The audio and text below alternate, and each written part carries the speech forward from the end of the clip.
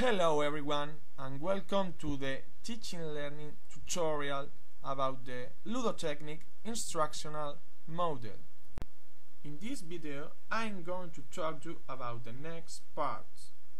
Background, theoretical foundations, characteristics of the teaching learning process, requirements for its implementation.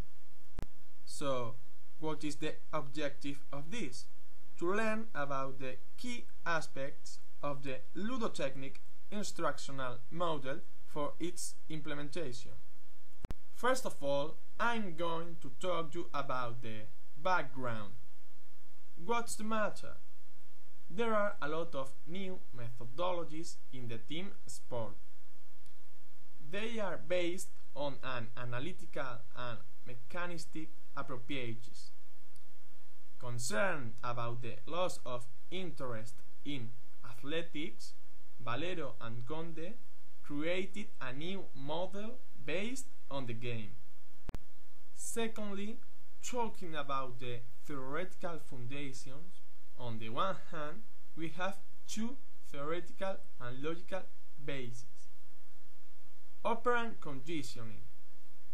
Children learn across small steps. The apprentice sees, hears, and feels the components that are part of his learning. Theory of achievement goals. The task orientation allows a greater enjoyment for sports. On the other hand, we find meaningful results. Acquisition of athletic skills and enjoyment and amusement through the practice of the athletics. In the third place, I'm going to explain you the structure of the session with the Ludotechnic instructional model. We have four steps. The first one, global presentation and proposed challenges. The second one, Ludotechnic approach.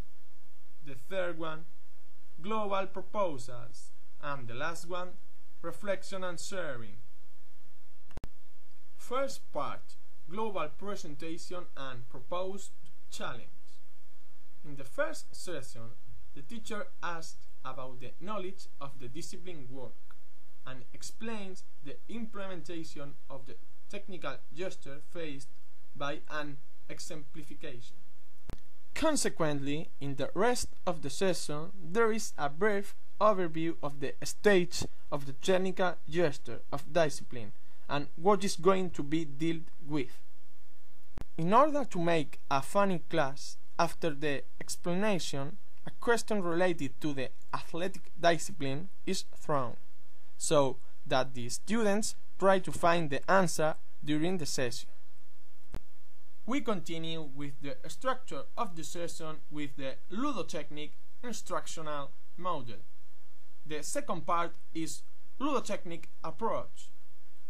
They are games that have been modified and which introduce a technical rule that refers to the phase of the technical gesture that is intended to be worked in the session. Furthermore, this platform should give a sufficient number of opportunities to work the technical element and a high level of commitment by the students. The third part of the session with the Ludotechnic instructional model are the global proposals. They are games or platforms that involve the complete relation of the athletic gesture. It seeks to transfer the technical elements worked separately to the global gesture. At last, we have the fourth part of the session with the Ludotechnic instructional module, reflection and survey. The teacher brings together students and asks for the solution to the challenge posed at the beginning of the session. He asked about the phase of the technical gesture that has worked and is interested in knowing the views of the student on the race activities.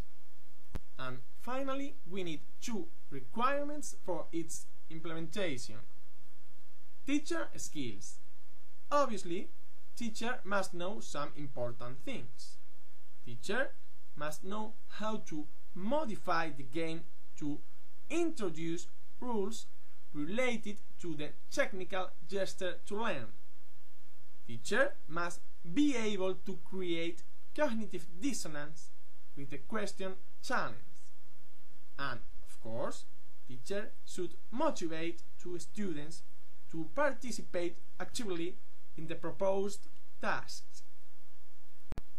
On the other hand, teacher must be able to have an absolute control of the major, knowledge of the technical phases of the athletic disciplines are composed, and knowledge of different disciplines of athletics, history, rules, biomechanical principles, measures, records.